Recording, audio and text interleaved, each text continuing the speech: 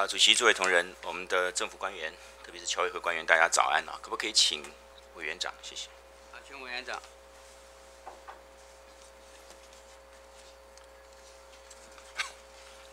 是，李委员长，委员长早哈。今天大家其实谈论的焦点都差不多哈。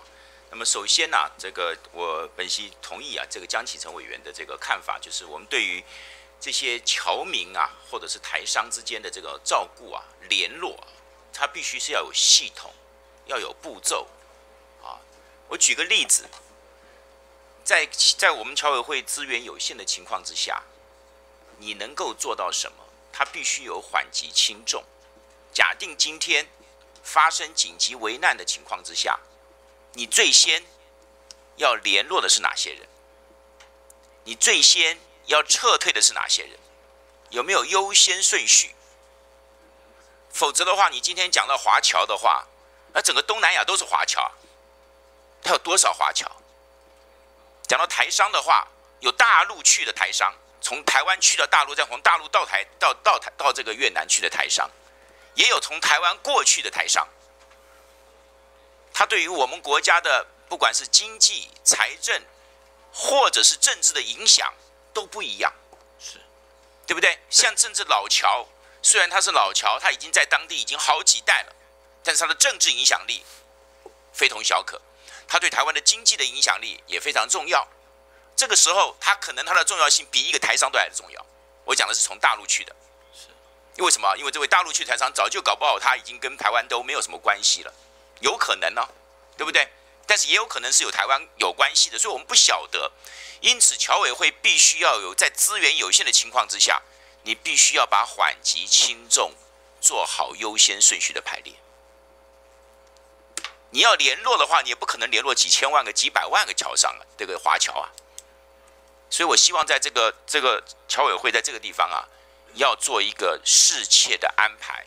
然后呢，要做好联系的管道，啊，这个是这个是不可不可避免的割舍，因为你没有这么多的资源，好，所以这个演练是重要的，但是它演练之前的整个规划，建立那个系统更是重要。所以本席啊，希望这个呃，特别是我们已经期待预期啊，不是期待哈，这个期待不好啊，要预期，我们预期整个环南海地区，不管是台商也好。啊，或者是华侨也好，他会面对的这个未来十年之内啊，会面对非常多的政治风暴。那这个政治风暴呢，势必我们要有一些动作。所以侨委会在这边呢，有有这个应该运用这个人力跟资源，好好的去做规划跟演练啊，这是第一点。第二点啊，本席对于这个刚刚这个呃陈欧破委员呢，这个本席啊，觉得这个我们我们对就是说这个台湾的主体哈。主体性、主体意识，跟我们的这个社会、跟我们的华侨、跟我们的台商去做做联系啊，做这个沟通啊，这是非常重要的。但是，台湾的主体意识意识不等于与中国大陆的敌对，这是两回事情。台湾的主体意识是强调我们的民主，强调我们的这个生活、我们的文化，但是跟大陆敌对是自讨苦吃，对台湾是没有绝对没有好处的。所以这两个事情要要要理清。台湾今天我们的出口的百分之四十是到中国大陆跟香港的，我们的进口超过百分之十六，进口的第一位是来自于中国大陆跟香港。这个经济的事实已经成为事实的情况之下，我们是不能随便跟一个这么样的重要的贸易伙伴去进行敌对。啊，所以台湾，但是台湾的主体。重不重要？当然重要嘛！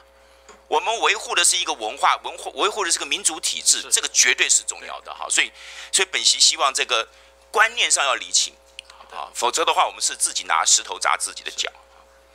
另外一个就是有关这个信用保证基金的问题啊，到底这个信用保证基金怎么样去安排？我觉得侨委会这边还是要去做一个。一个详细的评估啊，详细的评估一样问题还是一样，我们的资源有限嘛，对，对不对？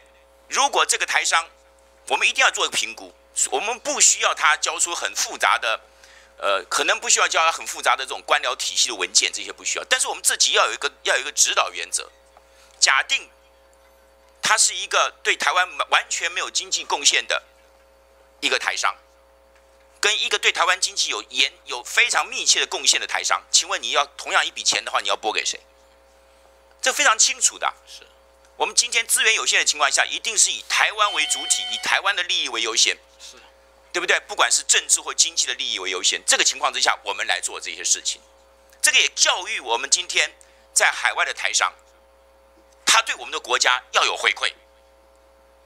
我们讲老实话，今天台商到大陆去的有成千上万，估计保守估计八十万到一百万，多少人替？就像今天这个月底要交税了，有多少的这些同胞们，他们是规规矩矩的交给我们国家税收，非常有限，非常有限。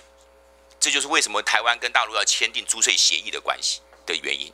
我们一定要把这个税找回来，所以我们不能因为他的身份，但是他没有尽了国民应该尽的义务的时候，我我们大量的资源，我们资源有限的情况下，一定有优先顺序，这是本席所要强调的优先顺序，不是说否定他们，他们当然要帮助，可是，在顺序上面你要定出一个规矩出来。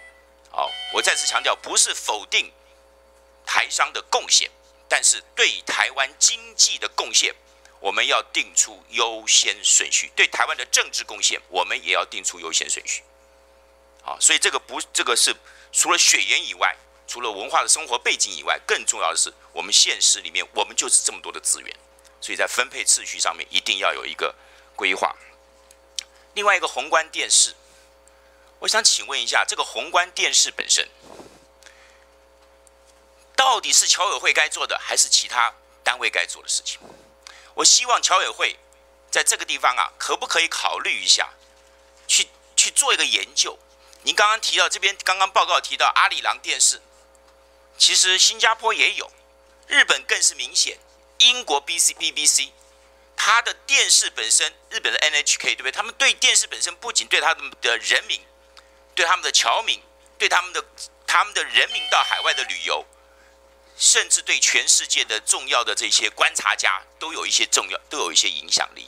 所以这个时候我们要评估的是宏观电视到底它扮演的角色是什么？是谁该来主办？本席一直认为这应该是过去的新新闻局该办的事情，但是现在没有了。到底到底该怎么办？因为你必须要把他的做的事情先定位清楚，你才可以由来谁谁来负责，而他才才他才可以拨预算。如果纯粹是侨民的话。真的，以现在这种资讯网络的发达的话，他可能没有必要性。可是，在另外一方面，如果他有其他的政治或者是其他的意义，譬如说，你对台湾现在有这么多的人民到海外去，他希望看得到我们的电视，这个时候不是那么容易看到了。那么，电观光旅馆是不是都应该有这些电视呢？是不是应该可以落地呢？所以，但是他是该谁负责呢？所以，本席认为宏观电视这部分呢，我还是请侨委会啊，好好的评估全世界这样子的一个系统。该由谁来负责？好，以上。